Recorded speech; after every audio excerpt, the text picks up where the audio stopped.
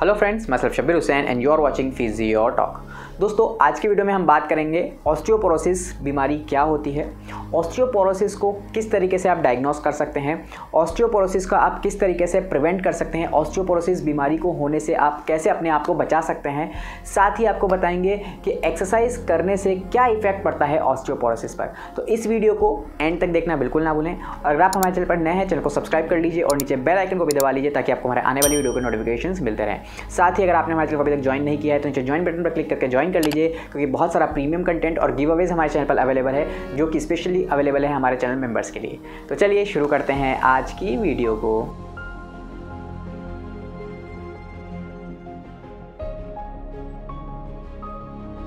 दोस्तों ऑस्टियोपोरोसिस यह एक ऐसी बीमारी है जिसमें हमारी हड्डियों में बोन का जो मिनरल कंटेंट है, वो कम हो जाता है। तो जब हमारी हड्डियों में से मिनरल कंटेंट कम हो जाएगा तो उसकी वजह से होगा क्या कि हमारी जो हड्डियाँ हैं, वो कमज़ोर हो जाएगी, हमारी बोन जो है वो वीक हो जाएगी, जिसकी वजह से हमारे हड्डियों के अंदर फ्रैक्चर होने का खतरा बढ़ जाएगा। खासकर आपकी स्पाइन में रीढ़ की हड्डी में, आपके हिप जॉइंट में कूल्हे की हड्डी में और आपके रिस्ट जॉइंट में, यानी कि कलाई में आपके फ्रैक्चर होने का खतरा बढ़ जाता है। तो दोस्तों, इस तरीके से ऑस्टियोपोरोसिस आपकी हड्डियों को पोरस बना देता है और उसको कमज़ोर कर देता है, जिससे कि आपकी हड्डियाँ ईजिली फ्रैक्चर हो जाती हैं। तो दोस्तों, अब बात करते हैं कि ऑस्टियोपोरोसिस का डायग्नोसिस आप कैसे कर सकते हैं। दोस्तों ऑस्टियोपोरोसिस को डायग्नोसिस करने के लिए हम एक टेस्ट का इस्तेमाल करते हैं, जिसको हम बोलते हैं बोन मिनरल डेंसिटी टेस्ट यानी कि B M D bone mineral density test इस टेस्ट के अंदर टी स्कोर हम पता करते हैं। टी स्कोर अगर वन से ज़्यादा है तो आपकी बोन के अंदर मिनरल कंटेंट सफिशेंट है। आपकी जो बोन डेंसिटी है, वो नॉर्मल मानी जाती है। पर आपकी BMD के अंदर अगर आपका टी स्कोर माइनस वन से माइनस टू पॉइंट फाइव के बीच में है तो ये माना जाता है कि आपको ऑस्टियोपीनिया है, यानी कि आपकी जो बोन डेंसिटी है वो कम है।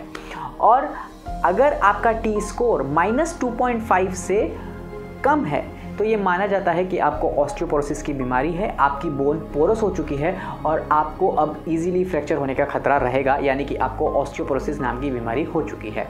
अब बात करते हैं कि इसको प्रिवेंट कैसे किया जाए। दोस्तों, इसको प्रिवेंट करने के लिए आपको हेल्दी लाइफ को मेनटेन करना होगा। इसको प्रिवेंट करने के लिए आपकी डाइट के अंदर कैल्शियम और विटामिन डी का कंटेंट होना बहुत ज़रूरी है। आपको स्मोकिंग और अल्कोहल का इस्तेमाल नहीं करना है अपनी ज़िंदगी में। साथ ही आपको फ़िज़िकल एक्टिविटी अच्छे से करनी है। फ़िज़िकल एक्टिविटी अगर आप करेंगे तो आप अपने आप को प्रिवेंट कर सकते हैं इस ऑस्ट्रोपोरोसिस बीमारी से होने से। अब बात करते हैं कि इसके रिस्क फैक्टर्स क्या होते हैं। दोस्तों, अगर आप स्मोकिंग करते हैं, अल्कोहल का कंजप्शन करते हैं तो आपको ऑस्ट्रोपोरोसिस होने का खतरा रहता है। पॉस्ट मीनोपॉज, यानी कि जब मासिक धर्म बंद हो जाते हैं, उसके बाद भी ऑस्ट्रोपोरोसिस होने का खतरा बढ़ जाता है। साथ ही ऐसे लोग जो अपनी डाइट के अंदर कैल्शियम और विटामिन डी कंटेंट का इस्तेमाल नहीं करते हैं, उनको भी ऑस्टियोपोरोसिस होने का खतरा बढ़ जाता है। ऐसे लोग जो फ़िज़िकल एक्टिविटी जिनकी बहुत कम है या बिल्कुल भी नहीं करते हैं, उनको भी ऑस्टियोपोरोसिस होने का खतरा बहुत ज़्यादा रहता है। साथ ही ऐसे लोग जो बेड रेस्ट पर रहते हैं, लंबे समय तक बेड रेस्ट पर रहते हैं, जिसकी वजह से उनकी फ़िज़िकल एक्टिविटी नहीं हो पाती, उनको भी ऑस्टियोपोरोसिस होने का खतरा बहुत ज़्यादा रहता है। अब बात करते हैं कि ऑस्टियोपोरोसिस के लिए आपको किन किन बातों का ध्यान रखना है, आपको क्या करना है। दोस्तों, आपको अपने नज़दीकी डॉक्टर के पास जाके BMD टेस्ट करवाना है। इस BMD टेस्ट में आपका जो टी स्कोर रहेगा, उसके अकॉर्डिंग डॉक्टर्स अगर ज़रूरी होगा तो आपको मेडिकेशन लिखेंगे और वो मेडिकेशन आपको शुरू करनी पड़ेगी। साथ ही आपको अपनी फ़िज़िकल एक्टिविटी के ऊपर ध्यान देना पड़ेगा। वेट बेयरिंग एक्सरसाइजेज आपको करनी पड़ेगी।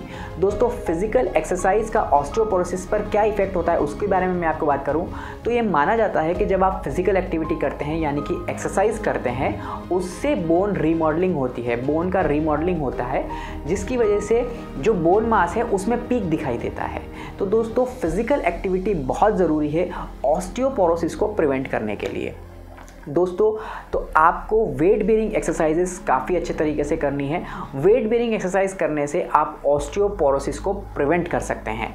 तो दोस्तों, आज की वीडियो में आपको बताया ऑस्टियोपोरोसिस क्या होता है, किस तरीके से आप ऑस्टियोपोरोसिस का डायग्नोसिस कर सकते हैं, किस तरीके से आप इस बीमारी को प्रिवेंट कर सकते हैं, इसके क्या क्या रिस्क फैक्टर्स होते हैं। उम्मीद करता हूँ ये वीडियो आपको पसंद आई होगी। वीडियो अच्छी लगी हो तो वीडियो को लाइक शेयर एंड सब्सक्राइब करना ना भूलें।